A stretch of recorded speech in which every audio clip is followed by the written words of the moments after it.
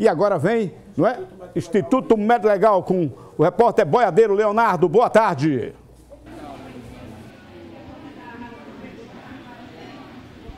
Boa tarde para você, Bareta. Boa tarde para todos. Nas últimas 24 horas, o Instituto Médico Legal de Sergipe recolheu cinco corpos, sendo quatro vítimas de homicídio, duas por arma de fogo, uma por espancamento e uma por arma branca. Ainda foi registrada a morte de um homem identificado como Wilton Silva Santos, de 36 anos. Ele morreu em casa no município da Barra dos Coqueiros e a causa da morte dele ainda não foi esclarecida.